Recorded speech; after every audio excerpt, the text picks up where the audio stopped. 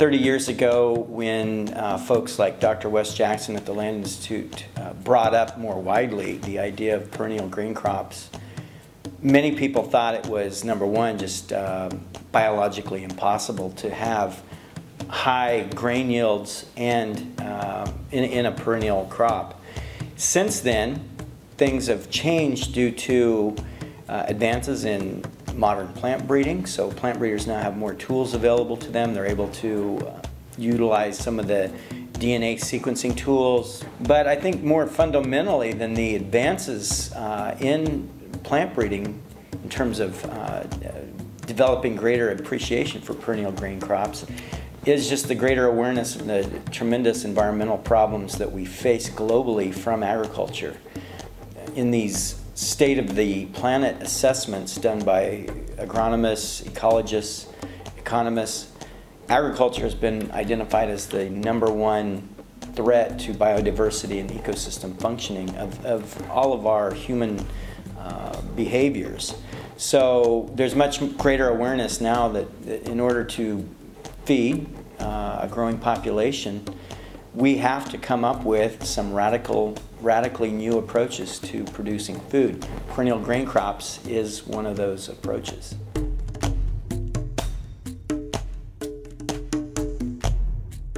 We, we see perennials as, as part of systems in feeding world populations and, and basically giving value to smallholder crops we think is, is quite critical. So um, again, mostly we look at giving farmers and growers options of how they can include these into their systems. The implications for the private sector are um, revitalizing local communities and agricultural systems and grain economy. Uh, we see the value coming into the communities themselves in terms of um, uh, increased and more efficient livestock production and grain production and integrated types of systems that will help local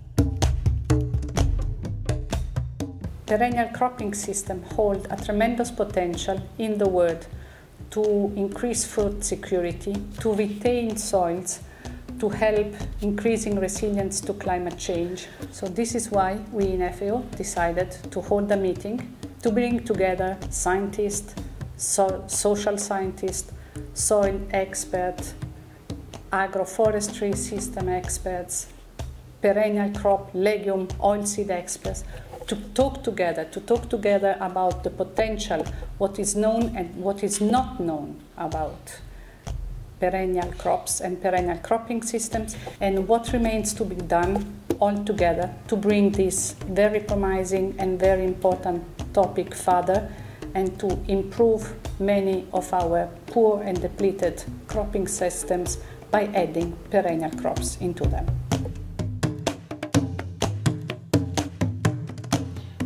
We're very conscious of the 9 billion people expected to be on Earth by 2050, which requires, I think it's a 70% increase in harvested grain available to feed the world. That is focusing the minds of some research providers and donors on focusing on grain only.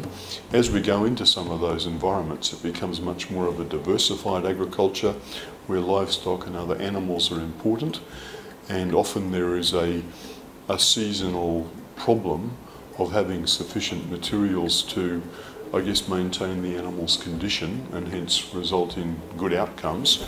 Um, things like perennial grains uh, could assist in that process if we have adapted plants of a dual purpose nature. Perennial grain systems address multiple sustainability goals. They don't just look at yield, they look at making sure that the environment is protected, that systems are economically viable, and that we actually can benefit the well-being of communities. More recently, we've looked at options such as doubled up legumes, where you take a crop soybean or common bean and you intercrop it with pigeon pea. Now, pigeon pea is grown traditionally and sort of old fashioned crop, popular in certain parts of the world where it's eaten like in India and even in southern Africa amongst subsistence farmers.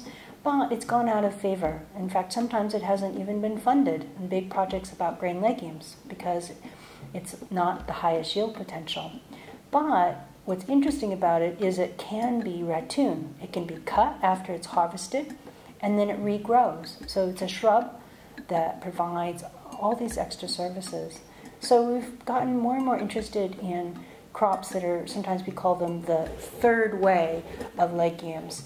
These third way type of legumes are either shrubs or vines that provide some grain immediately, but also the extra ecosystem services of protecting soil from erosion, uh, fixing nitrogen, in case of the perennial legumes, not in case of perennial wheat, although perennial wheat, um, we're testing it, but it seems to be able to conserve nitrogen and improve water quality.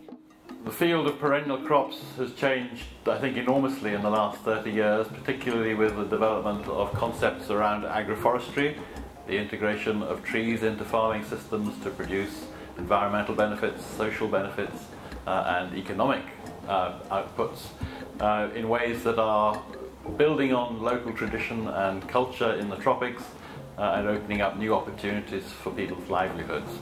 And that's really taken off enormously over the last 30 years, but still needs, has a long way to go. Um, the implications for feeding the world are that there is, uh, trees can be used in two ways. Firstly, to improve um, the quality of, of, products, because many of the traditional foods, which are rich in micronutrients, uh, have been lost from the wild. Uh, and by bringing these back into the farming system, you create the opportunity to diversify diets uh, and build micronutrients into that into those diets. That's the first point. The second point is that by integrating trees into the farming system, you have ways of closing the yield gap. That's the difference between yield potential and what farmers achieve. And so trees have a role to play in improving the agroecosystem, developing um, income generation in ways that are going to uh, mean that food security can be improved and we can move towards sustainable intensification. Uh, as the world population increased recently, uh, uh, especially in developing countries, for example, China and India, so we need um, more food for to feed this population, and in the most mountain area. So for the, in this area, and the crops uh, yield not so high like this uh, rice or wheat and uh, sorghum. So in the mountain region, we need a development perennial rice, uh, both for food and for environment protection.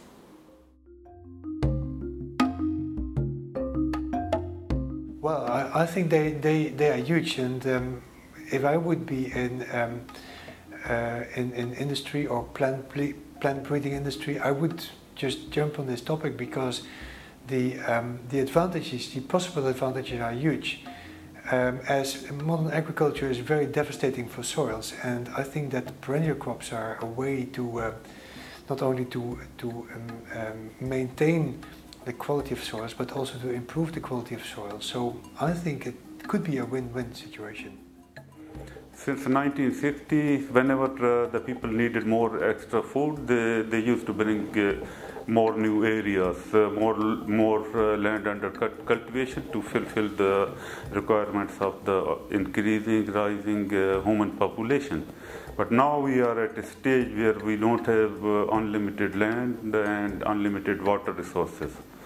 So we have reached to a point we need to use get better use of plant genetic resources to develop new varieties uh, that can feed the increasing uh, human population. And one of the options is to develop perennial, uh, at least perennial food security crops such as uh, wheat, barley, rice, maize so that uh, under arid conditions where we don't have uh, a, a, predicted pattern of rainfall or we don't have enough water at the time we want to plant.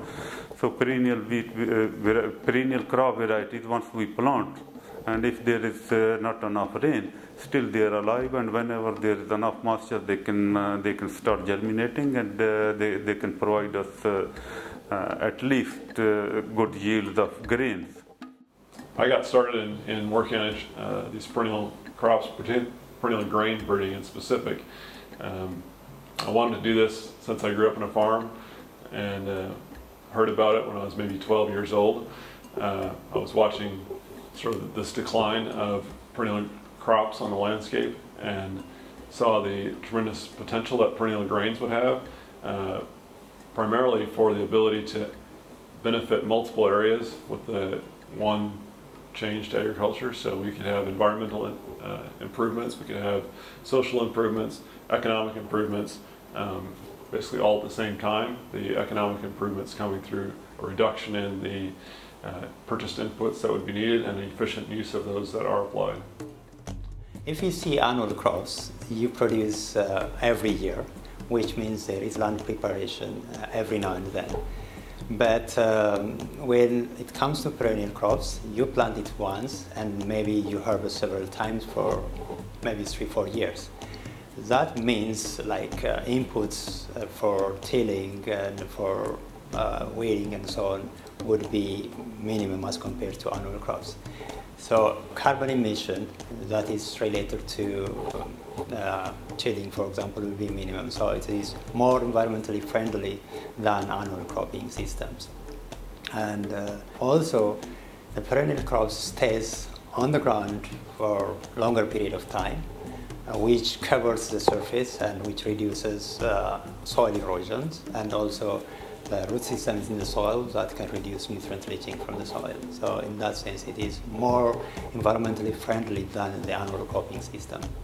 Um, soil biodiversity is really very uh, massive, it's really diverse. So if you take one handful of soil, it might have about 5,000 species of soil organisms and they all work for the quality of our life. And our challenge is to uh, see how they do that and uh, how we can make use of it the nutritional aspect um, of these materials is quite interesting because um, of the presence of some, some, some compounds which are well known for their positive effect on health. This means that uh, perennial wheat can also help in terms of nutritional quality, not only on the productivity, on the environmental uh, aspect. We need to see food energy uh, producing landscapes that are sustainable and resilient.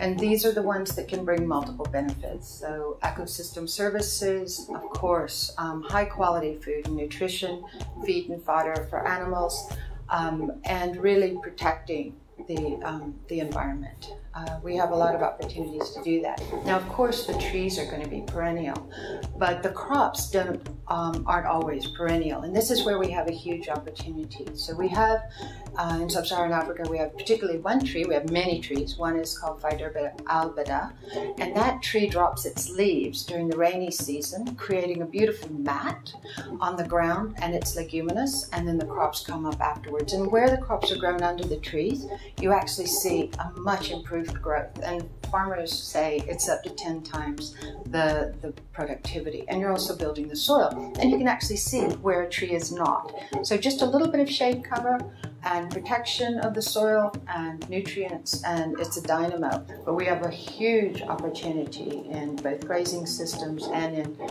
in, in agricultural production systems that are mixed with trees. So perennials, clearly an answer.